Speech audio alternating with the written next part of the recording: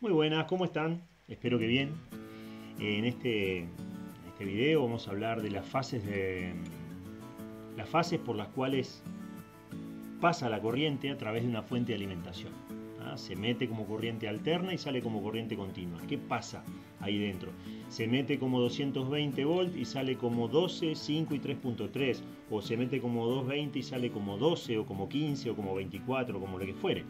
¿Quién redujo esa corriente? Eh, ¿Quién transformó de, alterna a continua? Bueno, eso lo vamos a ver en este video. Primero que nada, me gustaría mm, repasar un breve concepto que es este que tengo acá. Em, todo enchufe que tengamos en casa, todo toma corriente que tengamos en casa, debería tener tres agujeritos o tres conectores. El del medio generalmente es, el, es la tierra, masa o tierra. Eso está conectado, está interconectado en todos los enchufes y finalmente va a una jabalina que está enterrada fuera de nuestro, de, nuestro lugar, de nuestra vivienda. Está enterrada realmente. Eh, es una jabalina que puede medir un metro y medio, dos. Eh, y que hace justamente la descarga a tierra, por eso se llama tierra, ese, ese que se ve ahí, el del medio, por ejemplo, un enchufe 3 en línea, que son tres así, ¿sí? tres en hilera, el del medio es tierra, está representado ahí con verde, yo lo representé con ese color. Los otros dos que, restan se llaman fase y neutro. Así podemos referirnos correctamente a, las, patitas, agujeritos o conectores del enchufe, pero de forma técnica. ¿sí? En este caso la tierra la vamos a dejar, la vamos a dejar de lado porque no nos va a servir eh, para ninguno de los ejemplos que pretendemos dar. A continuación, vamos a ver eh, qué sucede cuando conectamos una fuente de alimentación. Y en este, en este caso estamos en la fase 1 de 4, que es la fase de reducción del voltaje. Muchos la llaman de transformación.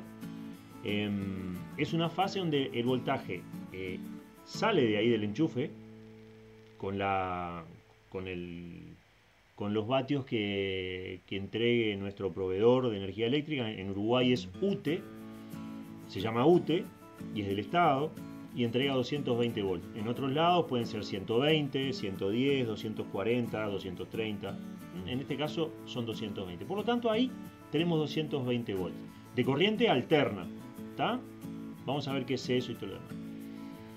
Conectamos una fuente de alimentación al, a la corriente, al enchufe. Bueno, lo primero que sucede en una fuente estándar, una fuente lineal, una fuente común y corriente, es que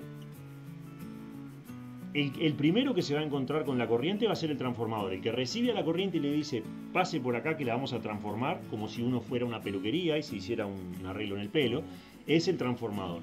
Toma la corriente y le dice, pase por acá y, y entre, póngase cómodo que usted va a, sufrir una transformación que, que no va a poder olvidar en toda su vida.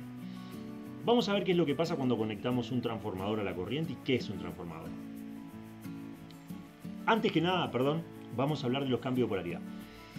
La corriente alterna lo que hace es em, alternar cuando en un momento fase es positiva, neutro es negativa. Y cuando al momento siguiente fase es negativa, neutro es positiva y así. Negativo, positivo, negativo, positivo. Así cambiando permanentemente, alternando. A la computadora y a la mayoría de los aparatos que tenemos en casa, no a los electrodomésticos que, de alto consumo como una heladera, un horno eléctrico, un microondas, pero sí a los de pequeño consumo como un amplificador de música, como una computadora, un teléfono celular, no le sirve este tipo de corriente. Si le aplicamos este tipo de corriente, aún aplicándole el voltaje que ellos necesitan, el aparato quedaría inutilizable. ¿sí? Ahí se paró la imagen porque esto es un GIF eh, hecho por quien les habla, que repite 50 veces un ciclo. Em, justamente la, corriente de UTE, la energía de UTE, viene dada por 220 volts y 50 hercios. Quiere decir que esos cambios que vieron ustedes se dan 50 veces por segundo. Esto es muy lento para lo que es la, energía de UTE. Esto es un cambio por segundo, es un hercio. Una tasa de un hercio es un cambio por segundo. Esto multiplíquenlo por 50 la rapidez. ¿sí? negativo, positivo, negativo, positivo, así 50 veces por segundo. Así es como viene la energía que nos brinda UTE y en algunos países es más rápida, todavía más veloz el cambio, es a 60 Hz. Normalmente en Estados Unidos, por ejemplo, siempre tengo el mismo ejemplo, es 110 volts, 60 Hz. O sea, es la mitad del voltaje, pero con un 20% más de velocidad aproximadamente en los cambios. la cuestión, perdón, la cuestión es que nosotros necesitamos estabilizar esa corriente que sea fase sea siempre negativa y neutro siempre positiva, por ejemplo, o al revés. Bueno, eso no lo podemos hacer aquí, lo tenemos que hacer después. Por lo tanto, primero lo que vamos a hacer es reducir la corriente. La vamos a llevar de 220 volts, corriente alterna, a, por ejemplo, 15 volts y la vamos a seguir dejando en corriente alterna. Primero la reducimos y después la trabajamos. Es mejor reducir y trabajar después que trabajar con magnitudes mucho más grandes. Esto es lo que sucede cuando el transformador recibe a la corriente. Ingresa corriente alterna, ahí están dados los cambios por los signos, ¿sí? están reflejados los cambios de la corriente alterna por los signos. Cuando por un cablecito negro ingresa polo positivo, por el otro polo negativo y cuando por el cablecito anterior ingresa polo negativo, por el otro ingresa polo positivo y así, 50 veces por segundo. Recordemos que es a 50 hercios la energía de UTE y eso hace que los cambios se den 50 veces por segundo.